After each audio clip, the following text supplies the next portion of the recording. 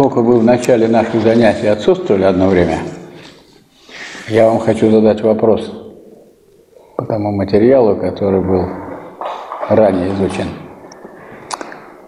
Вот кто создал, кто открыл классы?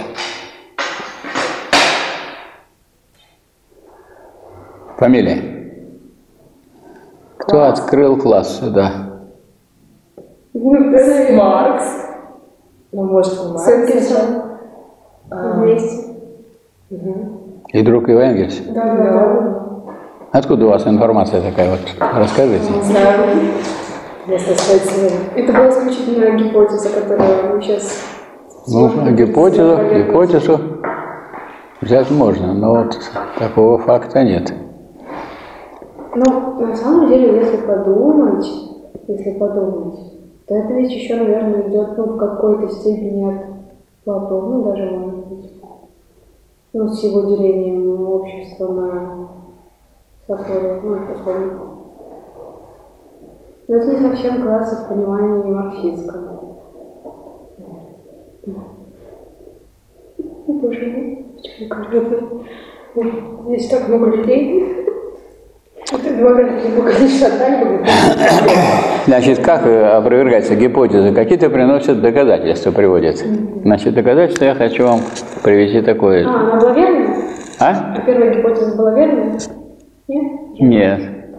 Хочу вам привести доказательство, доказательство товарища Маркса. Убедительно будет, если Маркс. Вот Маркс пишет. Маркс Иосифу Вейдемейеру в Нью-Йорк. Вот можете себе записать. Лондон, 5 марта 1852 года.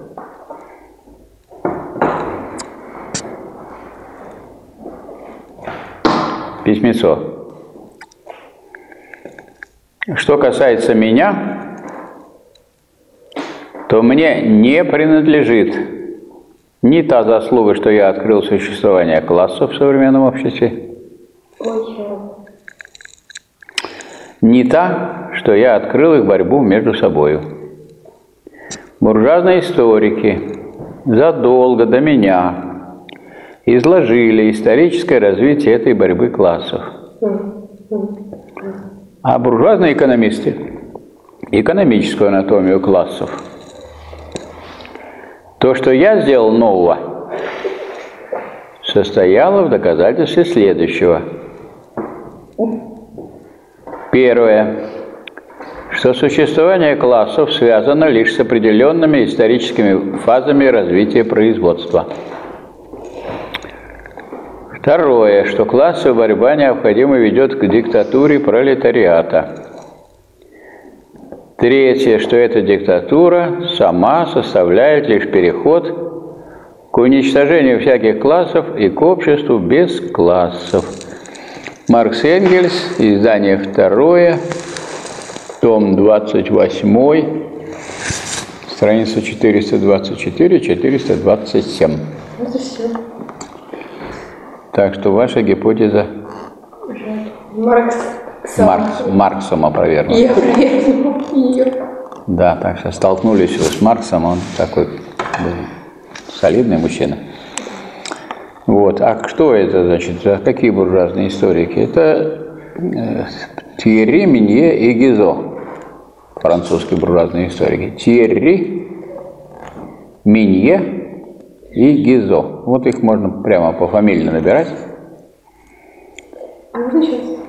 Тьерри, Минье и Гизо.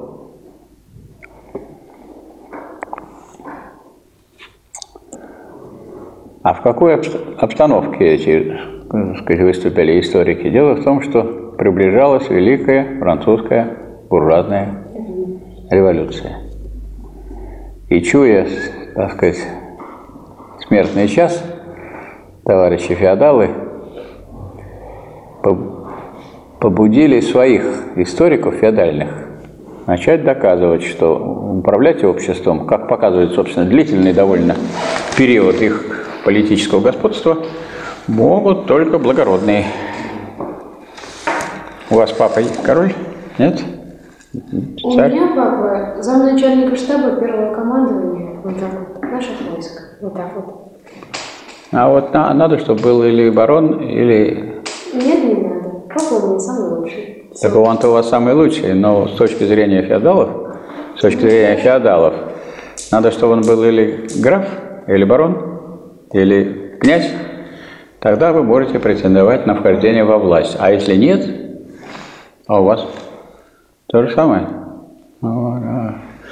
Ну вот, так вот, на защиту, на защиту вашу, на вашу защиту выступили французские буржуазные историки, которые стали доказывать, что управлять обществом могут не только благородные, а и всякие другие. И вот э, с этим связана как бы такая идеологическая, теоретическая подготовка революции французской буржуазной. Вот, потому что э, буржуазия с какими лозунгами шла? Что это вот мы не извергаем власть феодалов, и будет народная власть. А народная какая? Ну, кто стоял во главе этой революции буржуазной буржуазии, она и пришла к власти с лозунгами всего народа. А то, что революция была народной, тоже можно было подтвердить в известном смысле. Во-первых, кто ее делал? Народ. Во-вторых, крестьян освободили от крепостной зависимости. А это народ. Поэтому в этом смысле она народная. А теперь почему вот, это, вот этот вопрос для нас очень актуален вот, в настоящее время? Потому что мы живем в обществе, которое является буржуазным, но некоторые товарищи, и в связи с нашим вот этим курсом, мы должны разобраться, что сказать, связано с э, какими-то особенностями там, идеологии советского времени, да, пролетарской, а то, а что, собственно говоря, относится к буржуазной идеологии. Вот это вот, ну, деление на классы, теория классовой борьбы. И это, поскольку это вот по свидетельству Маркса, это творение буржуазных историков, и это, как научное, признавалось еще при буржуазном строе. И не только признавалось, это и был единственный способ научного из- изображения, изложения всей развития истории. Почему? Потому что э, в каждой науке приходится накапливать материал, данные, и потом классифицировать. И от того, как вы будете классифицировать по каким-то существенным чертам или по несущественным, зависит от того, что в результате этой классификации получится. Так вот, принцип классификации, который выдвинули буржуазные историки, классовый, на классы. Потому что слово классы означает, ну что, одно, что вы разделили какие-то группы по каким-то признакам, как, скажем, в млекопитающем, млекопитающих животных. Разделили вот парнокопытные и непарнокопытные. Так, там рака, значит, других животных ракообразные, членостоногие и так далее. То есть само это деление по разным признакам. Вот, скажем, крупных млекопитающих отличали по тому, как они э, добывают себе пищу и как они защищаются от врагов. По рогам и копытам, прежде всего, и по зубам. Поэтому, говорят, дареному, дареному коню зубы не смотрят, а покупать, если будете коня, смотрите в зубы, потому что с зубами он ест траву. А если у него зубы плохие, он плохо, есть, и он э, плохо будет работать.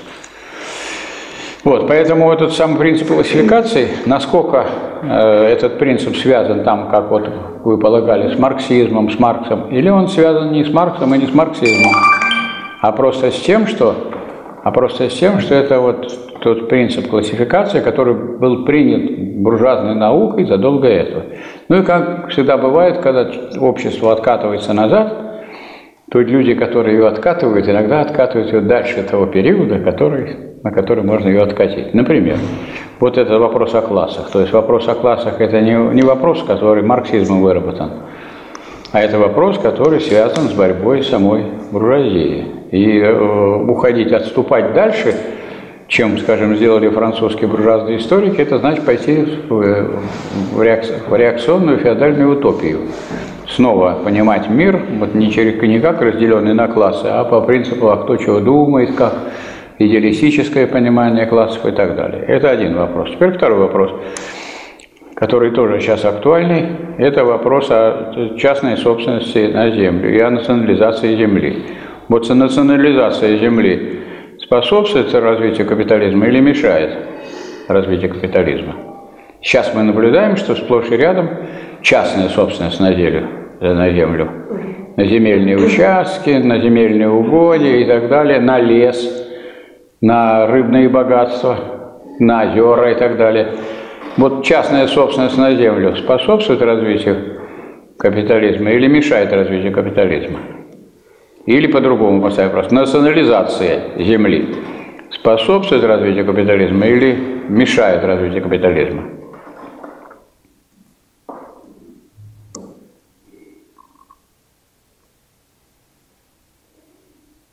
Вот государство, если проводит национализацию земли, это мера, будет способствовать развитию капитализма или его тормознет?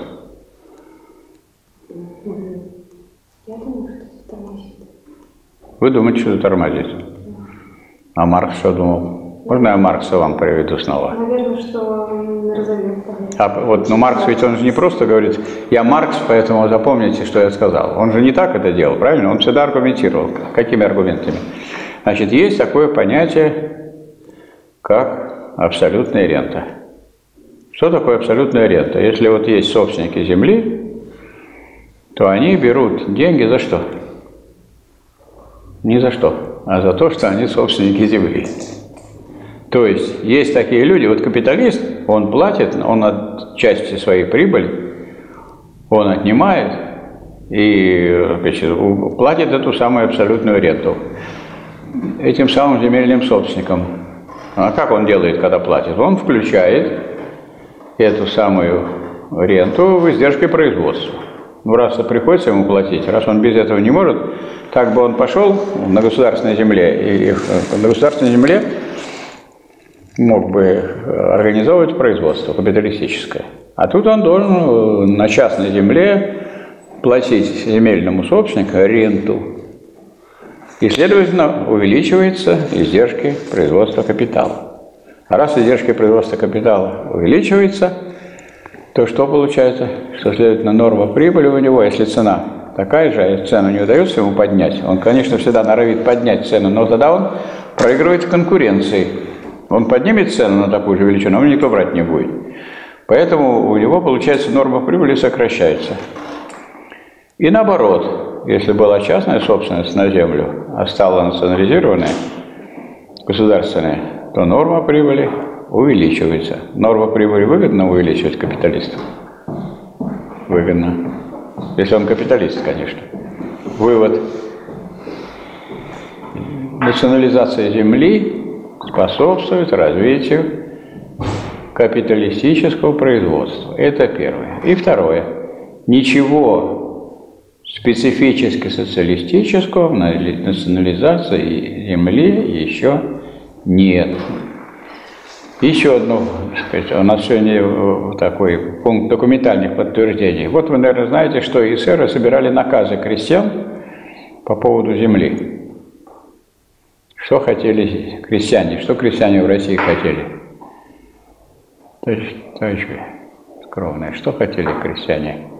А то вы два раза попали, может, сейчас попадете правильно. Боюсь, что нет. Даже У вас связь с крестьянами есть какая-то? Что хотели крестьяне? Когда не хотели. Вот они перед революцией хотели. После 61 года они недовольны были тем, что произошло. А что произошло после революции? После революции, после, э, вернее, после освобождения крестьян, что произошло? Вот те земли, на которых хозяйствовали крестьяне, их отрезали помещики. Дескать, это вообще наши земли. А раз наши, ну ладно, мы вам даем вот столько, остальное все наше остается. И они в лес уже не могли пойти, не могли коров выпустить на выгон, а без него нет молока, без этого выгона. И не могли нормально сделать все обороты и обеспечить нормальное производство. Поэтому все они требовали. Вот все эти требования, все, чего они требовали? Сводила эсеровская партия вот такое собрание наказов крестьян. И вот что крестьяне требовали, громадное их большинство? Землю. Землю обратно. Больше Обратно земли. не, она не была их. Как обратно? Обратно не могли они потребовать. Они Они больше фактически... Они хот... А как? А обратно они не могли получить. Значит, пришлось... Им это не получается требование. Значит, как им тогда вывернуться отсюда? Они требовали национализации земли. Раз. Чтобы помещиков забрали или дали обратно? Нет, а землю в пользование дали. Не обратно не дали, а дали в пользу. А, собственно, вот тут обратно, потому что э, они раньше пользовались помещичьей землей, а теперь хотят пользоваться государственной землей. Ну, им лучше, конечно, чтобы нет никакого помещика. Значит, пользование государственной земли, и для этого разделить землю по едокам. И в пользование бессрочное, безвозмездное, вечное пользование передать. А что значит разделить по едокам? Если у вас семья 13 человек, 13 частей. Если у вас 5 человек, 5 частей. Это распределение по потребности. Правильно, вообще-то? Да. У кого больше потребностей, тот того больше... Ну, больше денег. Эта мера сама по себе ничего социалистического не содержит. Почему? Потому что разделение земли потом по едокам к чему привело? Что появились снова богатые и бедные, и очень быстро. И к 28 году структура вот земельных э, владений на селе получилась такая, как была вот до этого самого, до революции Октябрьской, а именно 6% кулаков, основная масса э, мелкой буржуазии, середняки и бедняки. И из какой, так сказать, нищеты крестьянин не выбился, ничего, так сказать, его не реализовалось. Поэтому к, к, началу 30-х, к концу 20-х годов вопрос э, земельный в СССР стоял уже так, как, как революция в деревне, потому что никакой революции в деревне вообще не произошло. Это в городе уже было, о, сколько лет уже, значит, с 17 -го года продвигаются события, а в деревне ничего не произошло. В деревне по-прежнему существовал и развивался капитализм. Причем он развивался на этой основе. Всех разделили, а дальше как получается, если разделить поровну? Ну, дальше получается так, что в одной семье родилось больше девочек, в другой семье больше мальчиков. Там, где больше девочек, они выходили замуж, обрабатывать некому. Так? А там, где, так сказать, здоровые мужики, там 8 человек уже стали молодых, они могут землю в аренду брать, э, работать на ней. Ну и так получилось, что в итоге из одних сказать, семей получились кулацкие семьи, а кулак это кто такой? Алина, кто это кулак?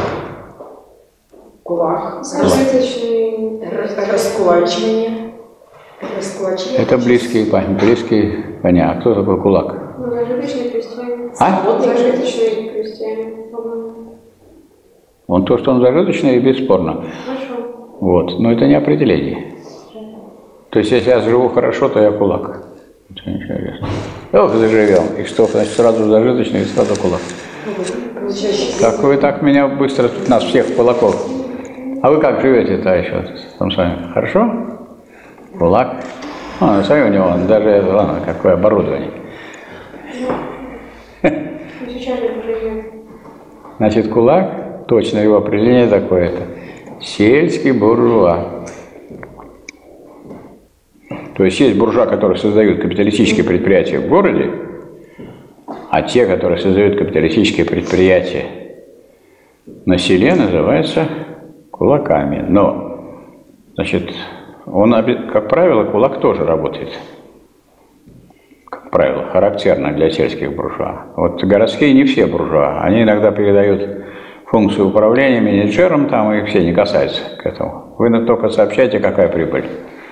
И все. А сельские буржуа, как правило, работали. Но Критерием что является? Живет ли вот эта семья преимущественно чужим или преимущественно своим трудом? Потому что вот в чистом виде вы не найдете в деревне вот этих таких явлений. Но таких вот людей, которые не работают, нету. Все кулаки работают.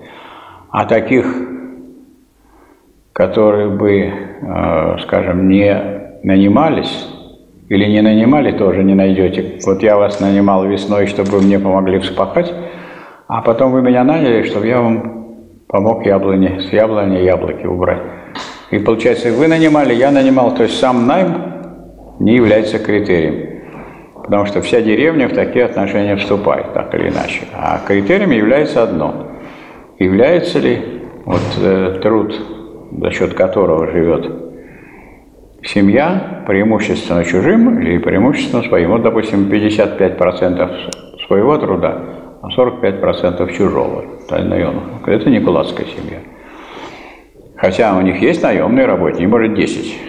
Они 13 работают больше, а кулак работает, а наемные, может, работают по 8 часов, а они работают с утра от зари до зари сами.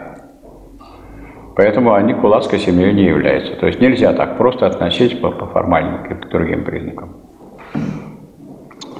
Вот, вот мы уже второй получили признак. Вот мы в современной России мы наблюдаем, что из желания, так сказать, как бы уйти от, так сказать, той практики, которая была в советское время, некоторые граждане, товарищи, э, начинают выступать против буржуазных позиций.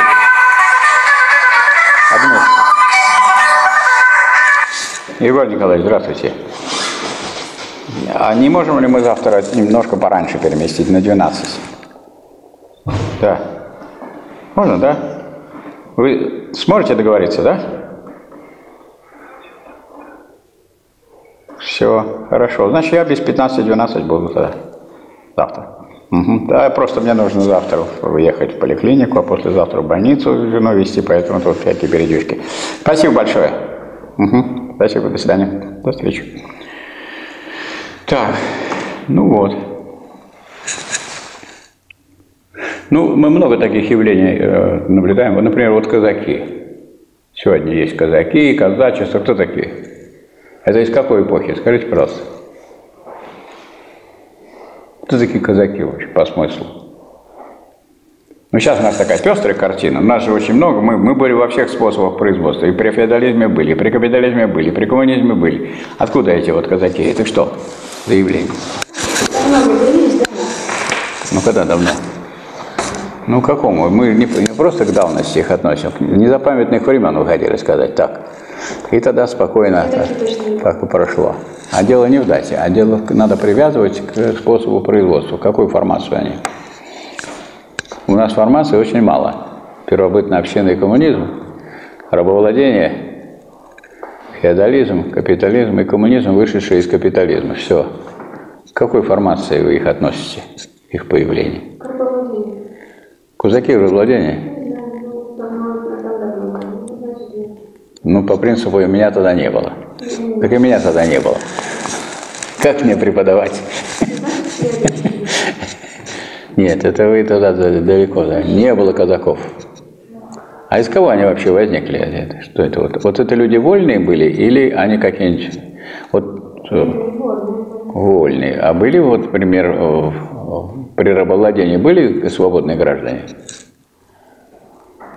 Или все, вот были только рабовладельцы и рабы? А свободные граждане были, которые не были рабовладельцами и не рабами? А? Были. Были. Что у нас сегодня с вами как-то вот ну, просто не совпадает? Но это значит наш разговор полезный, в том смысле, что мы кое-что выясняем, проясняем. Нет, были граждане, которые не были не было у человека рабов, не было, но он свободный гражданин, потому что в рабов кого обращали? Чужеземцев, кого победили. А это наш гражданин. Но победили, я получил рабов, а вы нет. Я рабовладелец, а вы нет. Вы свободная гражданка, я вас уважаю. Пожалуйста, можем. Будете, можете голосовать. У нас же демократия была при рабовладении. Кто допускался к голосованию? Не рабы. Не рабы, а это вообще не люди. А это говорящее оружие, орудие, не говорим, да. Ну вот. Ну вот, вот в этом смысле это прототип казаков. Так что я тут иду вам навстречу. Но я должен же пойти в чем-то хоть навстречу. Навстречу, что значит, вот был прототип казаков. То есть они и не относились к правящему классу, ну и от него, недалекие от него. То есть они тоже имели все права. А вот да, потом наступила эпоха после рабовладения какая? Ну, это вы знаете без меня. Феодализм. А вот при феодализме какие были классы? Был феодал, класс главный, господствующие феодалы, а подчиненные крестьяне. А вот такие, а вот опять такие люди, которые были уже и не крестьяне, но и не феодалы. Это кто такие? Это вот крестьяне беглые, беглых, убежали от своих помещиков. Что делало государство? А если оно, государство, это орган какого класса было при феодализме? Феодального. Оно этих ловило, наказывало и возвращало. А их много все равно. Вот ловишь, ловишь, ловишь, ловишь. И государство решило, что все равно надо что-то с ними делать. Как? Нельзя только вот ловить и только их душить. И решила оно, ну раз они все равно уже убежали далеко там, и они уже вооружились, будут воевать против России. Это надо царю? Не надо. Поэтому царь решил, что вы будете у нас вольные граждане, но вы будете как бы царские люди. Не, уже не, не беглые крестьяне, а царские люди. То есть вы будете защищать Россию. От кого? Вот. Они будут на рубежах. То есть они так далеко убежали, чтобы в случае чего удрать за границу. Вот. И если бы сейчас их стало государство ловить, этих беглых крестьян, они бы просто удрали вообще за границу и все, и этих людей потеряли. Ну, а царь не всегда же глупые вещи делает, да, и умные. Царь придумал, что, или его надоумили его советники, что надо вот этих всех беглых крестьян, которые, не тех, которые внутри, внутри мы поймаем и отдадим помещику, тут все ясно. Они уже там ушли, они все на краях, давайте их объявим царскими нашими подданными, особыми, дадим им особый статус и поручим их охранять рубежи нашей Родины. Как бы их в пограничники записали. И это вот такие люди называются казаками. Поэтому, когда мы сейчас наблюдаем вот казаков, ну это как-то выглядит довольно... Если это не так, вот как, скажем, было, казаки приехали в, в Донецкую, Лаосскую республику и Луганскую республику, и там выступали, так сказать, в поддержку граждан, стремившихся сказать, присоединиться к России. Ну, тут они похожи по своей функциям. А так, в общем, казаки, ну, это маскарад больше у нас, правильно? Ну, оденут, ходят, фуражки. Ну, а что они здесь ходят? Идите на рубежи нашей Родины и охраняйте там, правильно? Нет. Они у нас здесь вот какое-то Санкт-Петербургское казачество. Что, от финнов, что ли, нас защищают казаки? И как они нас сейчас защитят? Вот, то есть мы наблюдаем некоторые явления, Э, ну, из, которые представляют собой слепок таких-то или традиций прежних веков. И, соответственно, пытались какие-нибудь партии сделать казахские. Ничего из этих партий не вышло. Почему? Потому что партия – это авангард класса. А какой класс? Ну, какой класс может родить казаков? Никакой. Буржуазия не может, и это не надо. Рабочий класс тоже не может. Ну, это тоже не надо. Ну и получается, вот, так сказать, есть такое явление – но когда началось, так сказать, это э, движение вспять, то при этом движении вспять заехали уже в феодализм. И поэтому есть явления, характерные не для капитализма, а для феодализма. И для того, чтобы нам вот это, эти явления различать, вот для этого и нужно делать то, что мы делаем, изучая вот эту первичную роль общественного производства, что если мы общественное производство берем и берем за основу для понимания надстроечных явлений и всех других исторических явлений, у нас было здесь вот для понимания истории, надо смотреть, какой способ производства. И это не в том смысле, что тогда при Марксе был вот такой. Да это не важно, какой был при Марксе. Важно, что всегда надо смотреть, к какому способу производства относятся эти идеи или эти вот структуры, эти какие-то явления эти явления из самых разных областей жизни. Когда это могло явиться? Например, вот скажите, просто при, при рабовладельческом строе какая религия была распространена больше всего изначально? Давайте еще раньше начнем, чтобы было проще, от простого. При первобытно-общинном строе какая религия господствовала? Или была ли религия? Ну, мы же говорим о об идолопоклонничестве, насколько я. Это религия? Нет. Ну, как вообще, смотря ну, вот, какое определение религии брать? Нет, это еще не, не идолопоклонничество. Если мы говорим о первобытно-общинном строе, там еще и идолопоклонничества не было.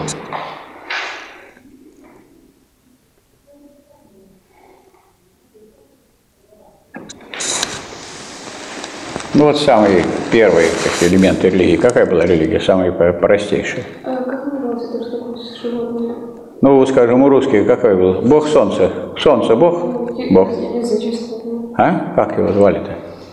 Там Перун был где-то. Это вечер. Ра- В Египте. Это Ра. египетский. У нас концерт был солнце. А Ерила? Вот оно, да, он. Солнце, да? Вот. Короче говоря, это было еще не религия, а древние какие? Верования, да? Верования, колдуны, ведьмы, так? Духи, злые духи, добрые духи и так далее. Вот в этом нашем обществе тоже есть колдун Валера. Дозванивайтесь. Если вам никто не помог, вот звоните мне, телефон такой-то. Не видели? Конференции колдунов проходят? Проходят. Теперь астролог есть? Есть. За такие деньги, какие им платят, они сами поверили уже в то, что они говорят. Астрологи. Или печатают. Сегодня никаких э, на се- на семинар не приходите, потому что толку не будет. Астролог Леша.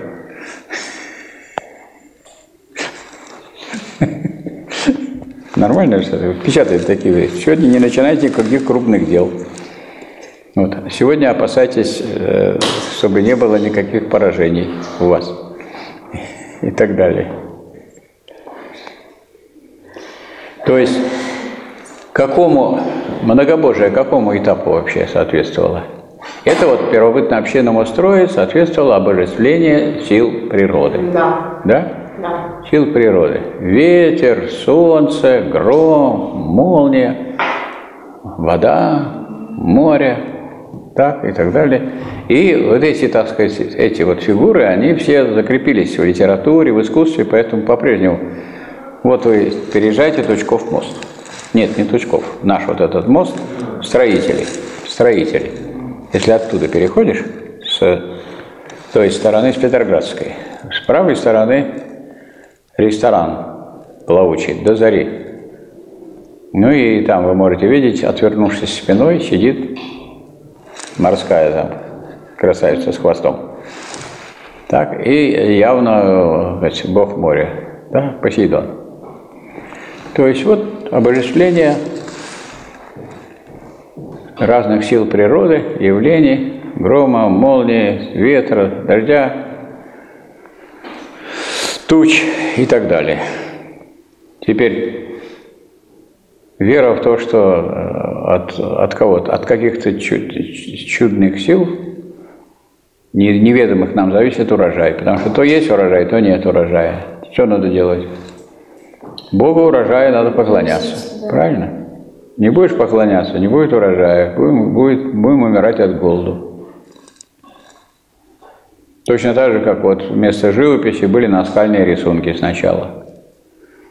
То есть это вот самое начало человеческого общества. Сейчас, вот, вот когда мы наблюдаем, мы это не просто говорим, что это какое-то старье, а мы можем сказать, что это старье, относящееся вот к периоду, когда оно было оправдано, вполне оправдано то, что эти колдуны. Ну, скажем, в литературе, что вы знаете про, скажем, вы Гарри Поттера читали книги? Читаем. Ну, там что делают колдуны? Вот обычно колдуны, они где-то народу помогают. Да, вот в русских сказках. Вот фея, например, Золушки сделала, чтобы ей поехать на бал, вот, значит, палочкой волшебной, раз, прикоснулась к платью, и оказалось прекрасное бальное платье. Раз, хрустальные башмачки, два. Третье, тыкву взяли, и из тыквы сделали что? Карету. Карету. А этих крыс Кучера. кучерами. И поехала она. Красота? Помощь. То есть вот в русских сказках и в других, например, э, э, и это в опере, скажем, ой, в балете «Золушка» такой, то мы можем это посмотреть. А если вы возьмете балет «Щелкунчик», там есть мышиный король. Но это тоже волшебство, правильно? Какой мышиный король? Мышиный король может быть только когда люди думают уже о королевствах, так? Когда феодализм. До этого, до, до него королей не было. И вот с ним сражаются. Это так как бы он там злые силы представляет. Или если мы возьмем спящую красавицу, там фабула известная, рождается ребенок, не пригласили а одну фею Карабос.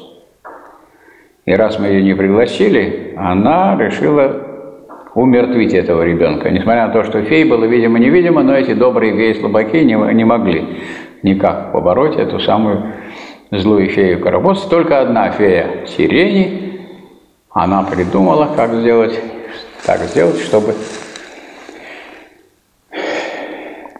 она не умерла, этот ребенок, а только заснула. А чтобы ей было не скучно одной заснуть, и будешь она заснула на сто лет. И заснули все, вот, и король, и королева, и все слуги, и все они заснули. И пока не пришел принц через сто лет и не поцеловал ее, так сказать, они вот все спала. Но вот добрые феи, то есть были такие волшебники, которые людям помогали, добрым, да? Или люди даже со злыми силами, колдунами боролись. Вот э, в Лебедином озере с Ротбартом бьется принц. Бьется, сражался, оторвал ему крыло, и все эти девушки, которые превращались в лебедей, освободились.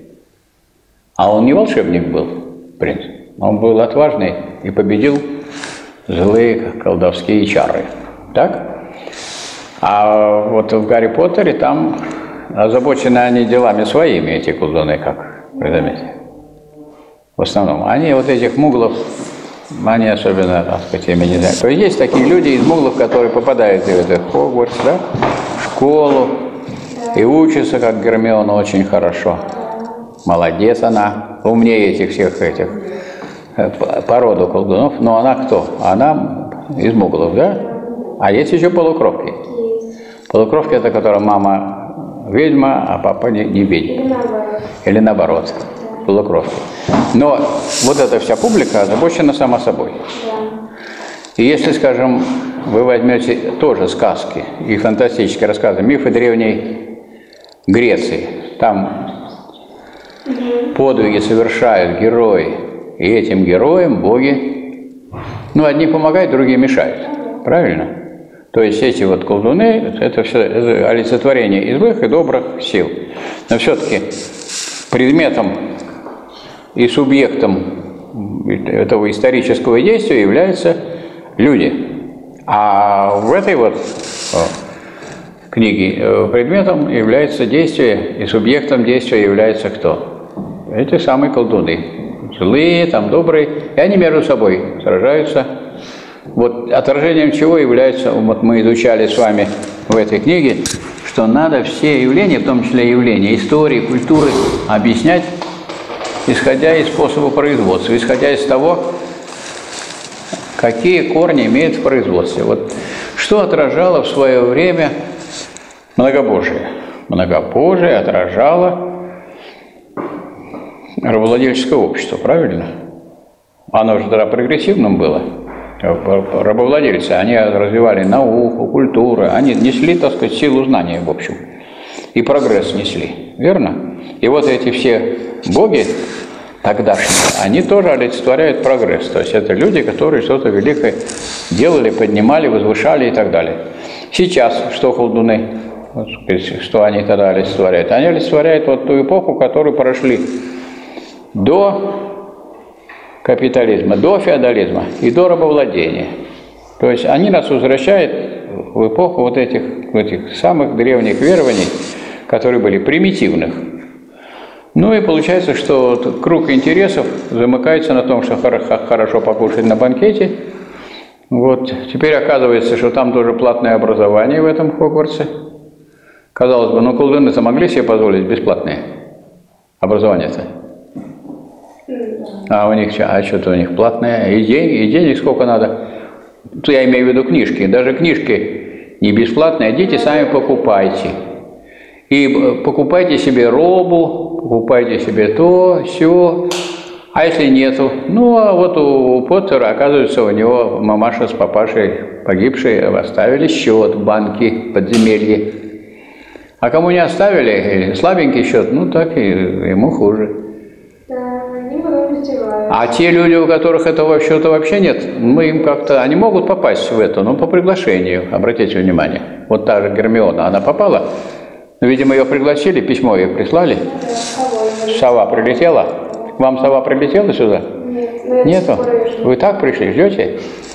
Так а чего вы такого зеленого цвета? Может, вы сами не прилетели? А Алина идет. Вот она все время и хорошие вещи принесла. Я спросил вас про классы, а вы, оказывается, а вот Маркса сова вот принесла. Вот. Вот это. Нет, так любить его можно. Это же, это же что? Вот, потому что хороший писатель, психологические всякие отношения, отношения, так сказать, обстановку в любой, в любом учебном заведении, неважно какой, там, хоть там колдуны, хоть там не колдуны, они описывают очень хорошо. Люди там готовятся, стараются, зубрят, одновременно играют там в какие-то игры спо- спортивные, и тут же летают на метле. А вы слышали, что в метро Теракт. теракт сейчас был? Взорвался вагон. В городе? Да, Метро сейчас. у нас. Да вы что? На технологическом институте вагон. Вагон взорвался. В каком институте? На технологическом? Да. И Взорвали. Сенная вся дымит, и перекрыли площадь Восстания, Маяковскую, Невский, Сенную, Технологический. Мгм. Как я такой это вообще не было. А Вот это злые силы или террористы? Ну, Вот я, я- и вот я, я связи с этим хотел бы сказать, что у нас вот умы э, многих людей уведены от того, чтобы видеть, какие сейчас конкретно злые силы есть в нашем обществе. Ну, вот в эти, так сказать, надуманные злые силы, с которыми там они сражаются. Вальдеморт. И это все правильно. То есть эта книга хорошая, интересная, но э, с точки зрения того, какие там вот идеи, у нас давно не было терактов. Это страшное дело. Да. Да. Ну, жертв не сказали сколько? Ну, много, но... Много, да? Вагоны, это я представляю. Это еще, наверное, по движению и вообще это. Ну, вот сейчас скажу. Все, что написано. На технологическом институте произошел взрыв в вагоне, много пострадавших. 14.30. Только что взорвалось на станции Сенная. Повалил дым, и люди бегом с платформы. Это и, и второй, что ли? Второй? Второй? Двойной.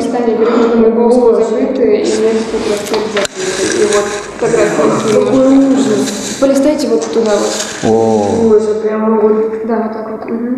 Ух ты, перекореженные двери. О, вот лежат. Кошмар. Ну, придется ехать на всякий случай.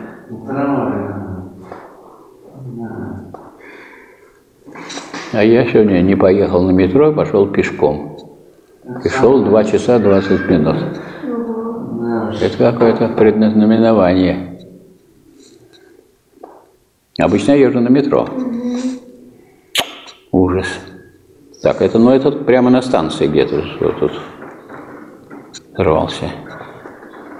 И тут на станции. Или уже они подкатили, наверное, подвезли. Не на перегоне? Не- непонятно еще, да? О, это ж кошмар. Да. Так, это значит технологический институт и, Сенная. и Сенная. А Закрыли площадь Восстания еще Невский и вы- выход на Маяковскую, ну.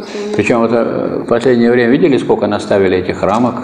То есть как бы все время чувствовали, что, наверное, были какие-то данные. Наставили рамок очень много. Ну, как раз технологическое пересаживаюсь обычно.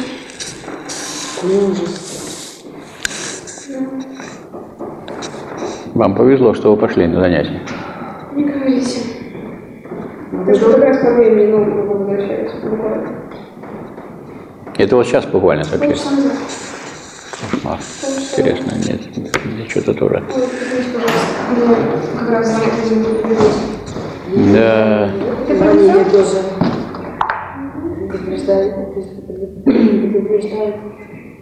ничего себе.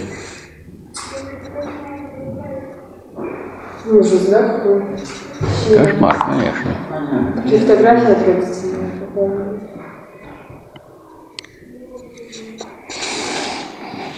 Да как, какой страшный был теракт с этим. Вообще там с самолетом тоже видно, там какое-то разгильдяйство было большое.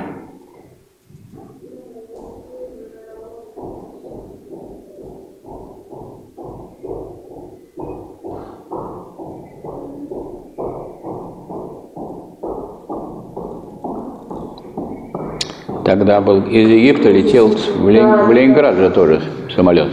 Было, да.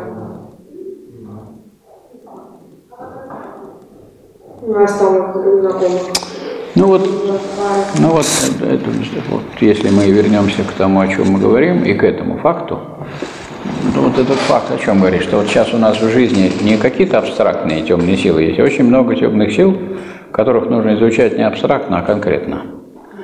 Кто темные силы, откуда это идет терроризм, какие, как, кто и с кем борется и за что.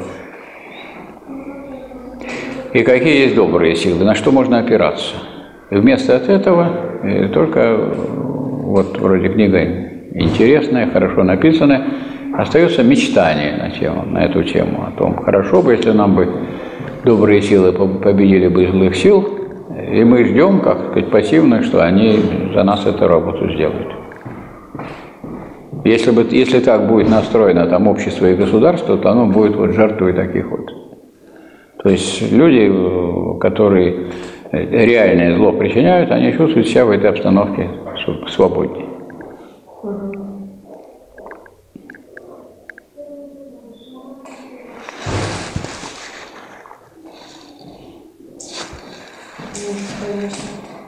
Да. Катя на следующий бой съехала. Девочка приехала как раз в это время, говорит, вышло там все в крови, в дыму, люди плачут. Ой, ужас какой. Очень страшно. Так, ну да. Ну вот э, давайте мы значит, сделаем некоторые выводы из сказанного.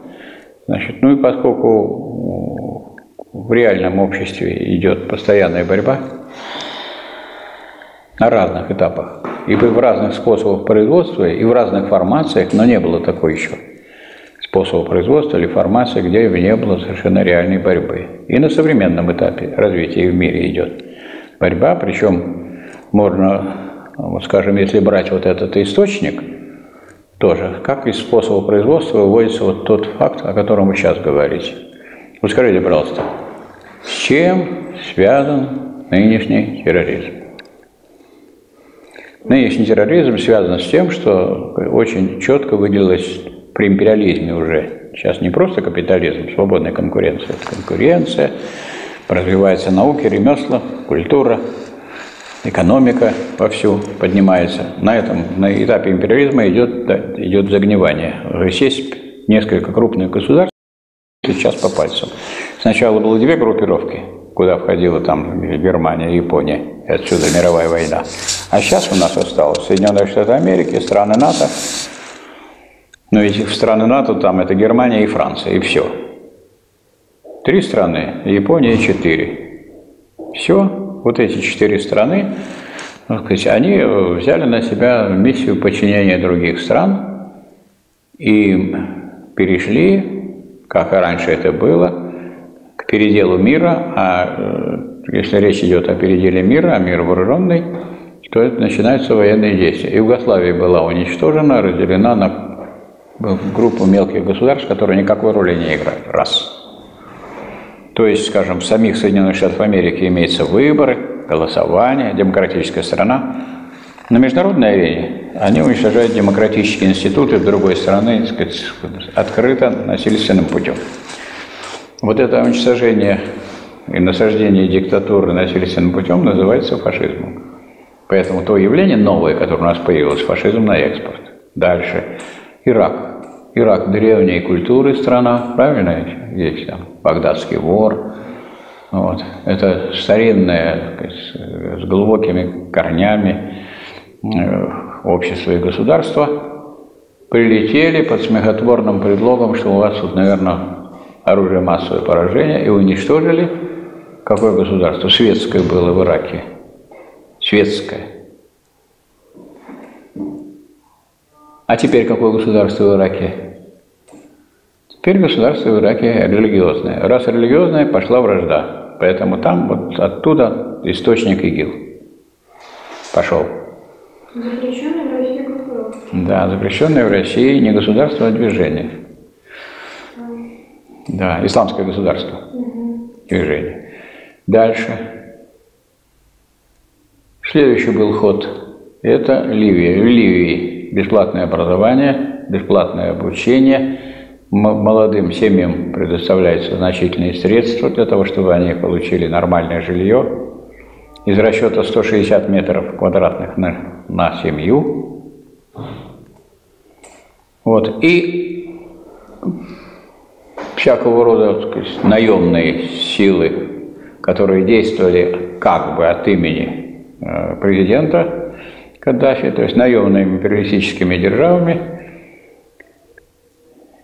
Ссылка на то, что, дескать, вот тут есть некоторые нарушения, прилетели, разбомбили, уничтожили государство. Какое было государство?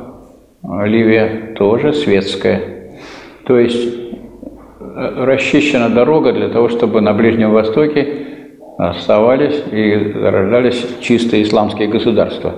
Осталась одна Сирия, которой, в которой светское государство и поддерживает светский характер государства только Россия.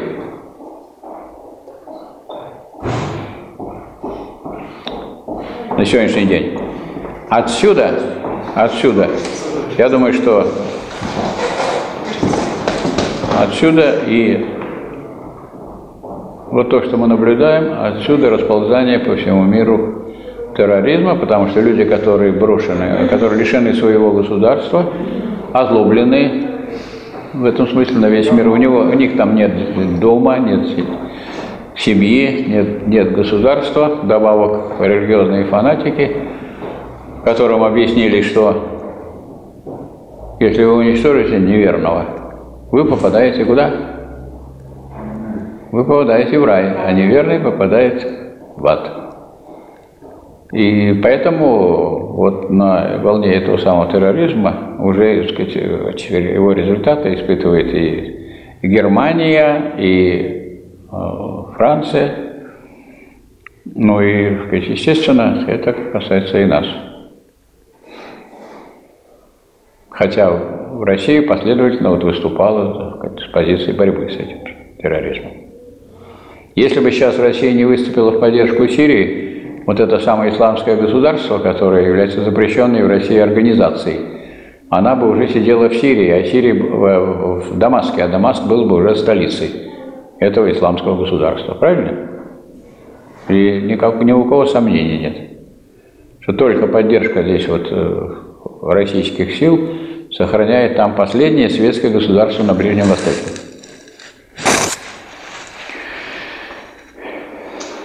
Ужас. Конечно. Да. Ну, не понимаю.